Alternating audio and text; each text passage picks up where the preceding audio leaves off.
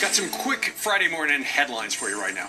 Russia test firing a new missile. The rocket was fired from a military base. Russian officials saying it hit its intended target in Kazakhstan. The country apparently hoping it can counter the U.S. missile defense system.